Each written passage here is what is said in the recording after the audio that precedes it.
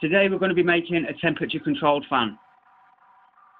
We're going to get the Arduino Uno to monitor the temperature from the temperature sensor and when it goes above a certain temperature the relay will turn the fan on and cool the sensor down to below the threshold specified in the code. We're going to use a DS18B20 temperature sensor, a relay, an Arduino Uno and the bench power supplies that we built in my last video for a 12 volt supply for the fan. Obviously the Arduino Uno only has 3.3 and 5 volt outputs, so we can't power the fan directly from the Arduino Uno.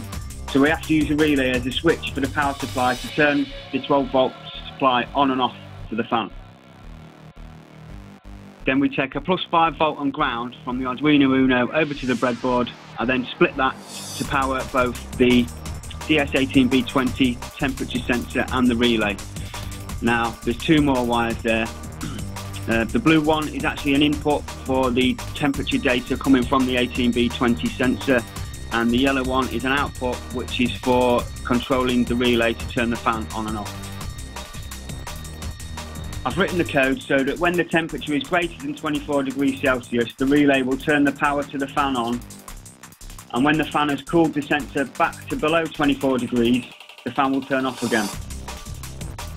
The temperature is also displayed in the serial monitor of the Arduino IDE so that you can monitor what is actually going on with your relay and at what temperature it actually turns the fan on and off.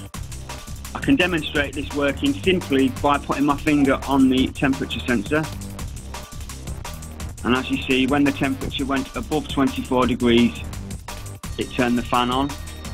And the fan will, will keep running until the temperature goes below 25 degrees.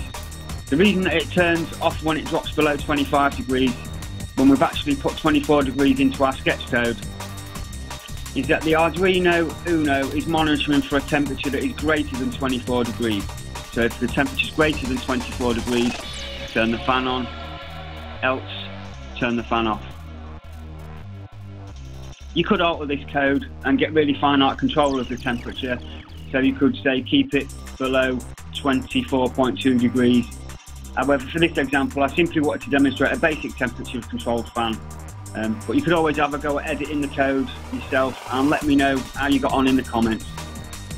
It's a really simple circuit which you can take and along with the sketch code implement somewhere in the real world. You can use it for climate control or temperature monitoring um, of another device where cooling could or would be required.